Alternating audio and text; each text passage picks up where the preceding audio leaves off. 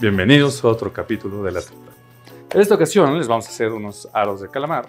Esto que estoy haciendo es para poder estar tomando con una cervecita no zombie. Aconsejo siempre cocinar mientras uno bebe. Esta es mi cocina, este es Taller Xilotl. Aquí es donde hago toda la magia, man.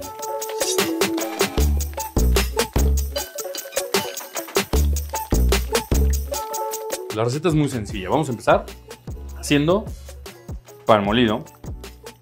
Le voy a picar un poco de perejil. Después le vamos a agregar la ralladura de limón. El objetivo es que tenga sabores ácidos. Vamos a agregarle pimentita. Compré chapulines y los molí en el molcajete. Y tiene un poco de cáscaras de jitomate deshidratadas. Sal, sal de grano y la voy moliendo al momento. Vamos a revolver. Y ahí quedó nuestro pan para los aros. Vamos a prender el aceite para nuestros calamares, van a estar fritos. Hay que tener mucho cuidado con el aceite porque se puede incendiar muy fácilmente.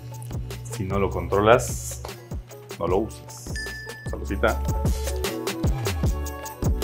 Ok, vamos a empezar a hacer la salsa.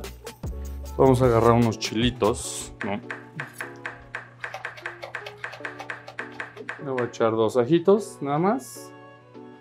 Aquí también nos ayuda mucho la sal en grano. Miren, la verdad es que el molcajete, si lo vemos en forma práctica, no es rápido. Pero, a diferencia de la licuadora, se queda con muchos de los sabores que tenemos. Y aparte al estar martajando, pues obviamente me estoy quedando con pedazos de la piedra. Eso da mineralidad, o sea, da sabor. Cuando alguien diga, ay, no cambia el sabor. Dígale que deje de decir pendejadas, obviamente cambia el sabor. Vean que la piedra tiene que ser negra, está porosa.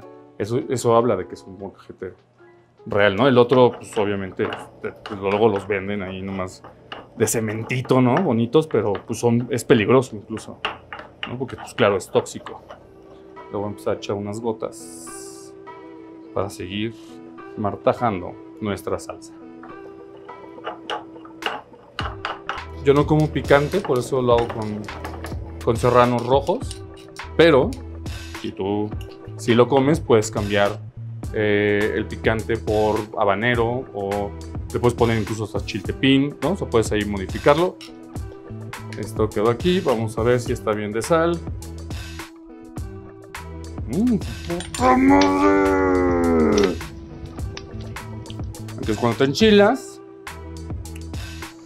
Pero si no lo pruebo, pues como sé cuánto está de sal, ¿no? Aquí me queda un poquito salada, entonces le agregué por eso más limón. También le voy a agregar un poquito de más pimienta. Aquí tengo un poco de mayonesa. Y lo que le voy a hacer es agregarle esta hermosura.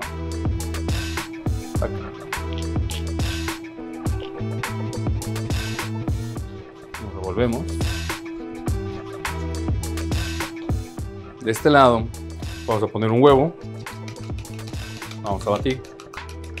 Y el pan que teníamos. Entonces aquí ya llegan nuestros hermosos calamares, ¿no?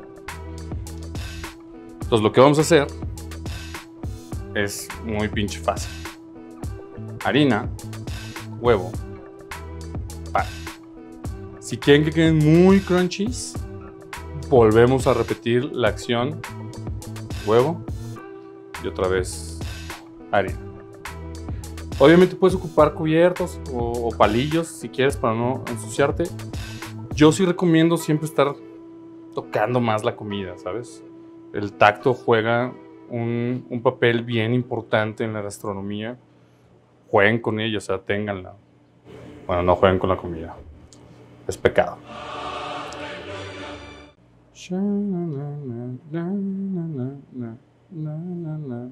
Mira, mira, me dijiste.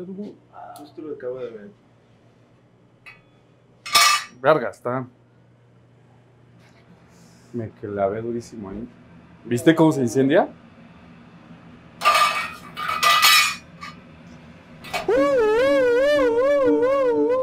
Chequen, esto ya es muy caliente. Si lo destapo se incendia en automático.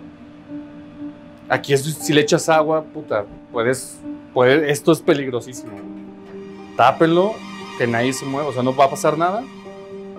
Pero si tengan cuidado con las quemaduras de aceite, son súper perros. Lo hice a propósito, ¿no? Que, que claro, pues que yo estoy la pendeja, ¿ah? solo quería que ustedes entendieran pues los peligros de esta madre. Entonces cuando uno la caga, ¿no? Lo ponemos atrás y uno bebe. Vamos a freír alto entre, el, entre donde está el límite de la olla o el sartén donde lo hagan y donde está el aceite porque si aventamos varios obviamente va a rebosar. ¿Vieron cómo inmediatamente se hace espuma? Ahí está caliente el aceite. El calamar es algo que se cose muy rápido. Entonces, si el pan ya lo ven dorado, no tengan problemas. Porque al final de cuentas, el calamar ya estaría hecho. ¿no? O sea, se cose a muy baja cocción, es muy rápido de hacerse. Hemos acabado con nuestros hermosos aritos de calamar. Los pongo por acá, ¿no? La gente pueda agarrar el limoncito. Y aquí vamos a poner nuestras salsitas. Pum, bien servido.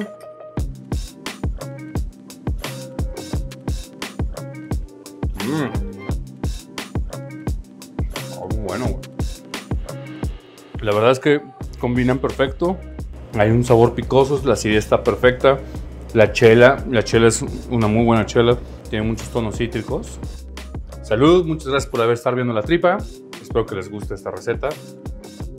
Yo soy Alberto Harvey. Y esto fue la tripa y los aros de calamar. Salud.